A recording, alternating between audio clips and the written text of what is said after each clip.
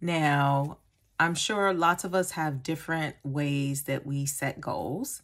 And I have found a very useful way that has worked well for me to set goals. It helped me to set the goal to make a major transition in my life. Um, it was pretty easy for me to set the goal as a nine year old that I wanted to become a physician because that path was very clear. You finish high school with good grades, you get into a good college, you do pre med, you go to medical school residency, and you start a career as a physician. So, those types of goals are pretty easy. I mean, they're not easy to achieve, but they're easy to map out because it's clear. What I have found more difficult is when you have a goal that's not so concrete, that's not so clear. How do you set that goal and then how do you achieve it?